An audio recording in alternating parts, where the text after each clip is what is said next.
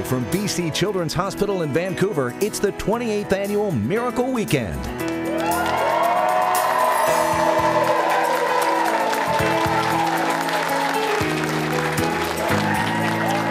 Yes, and welcome. We are live from BC Children's Hospital for the 28th annual Miracle Weekend.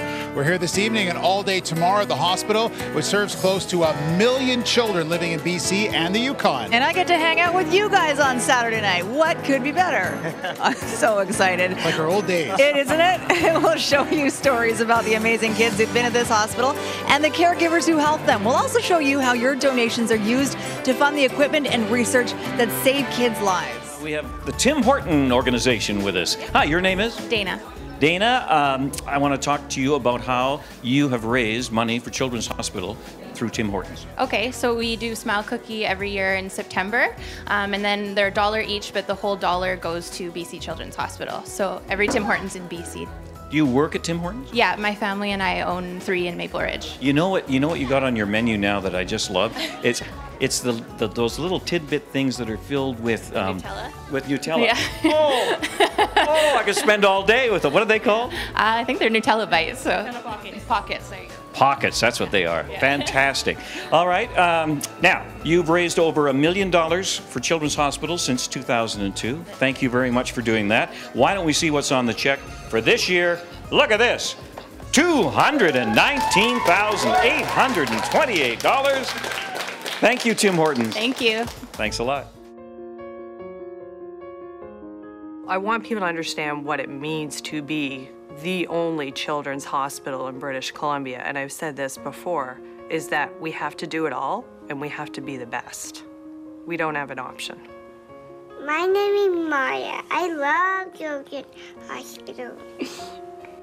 Well, you love it because it has become a second home to us. The thing that is surprising to me is although he doesn't quite understand his illness, he's so familiar with um, the idea of a hospital that when we go to the grocery store, he asks the cashier if they're doctors because they're in uniform.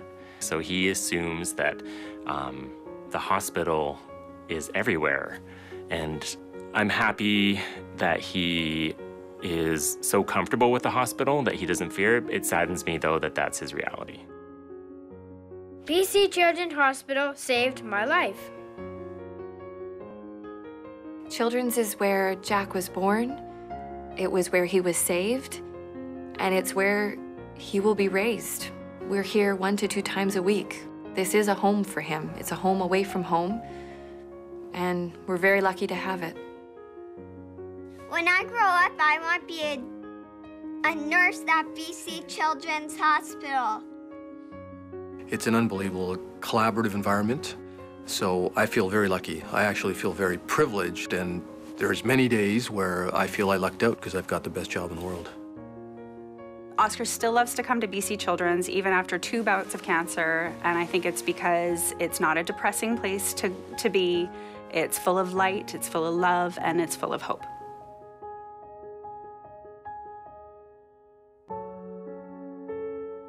So thank you very much to, for everyone who's donating to Children's Hospital and supporting us. So kids like me who had cancer. So thank you very much to all of you. An incredible moment this is. The energy in this room, if you could feel it. Miracle Weekend coming to a close, and what an amazing weekend mm-hmm. it has been. All right, we got to check out the big total. Time to check it out. Okay, just so uh, everyone, we're ready to shout out those numbers. Are we ready? We're ready. Let's do it. Ready. Thank you, BC. One, six, three, four, zero, eight,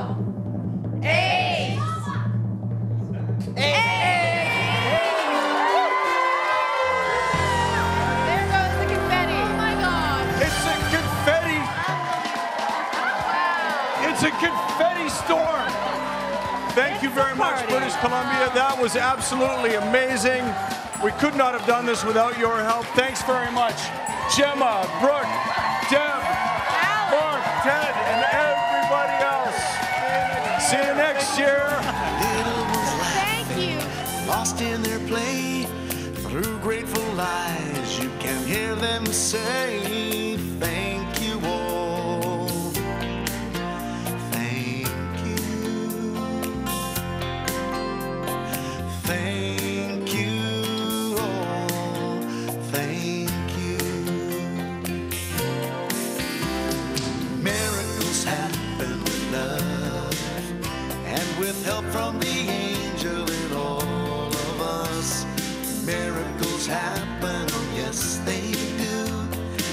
Here's hoping someday what happens for you, and the peace comes to you from above.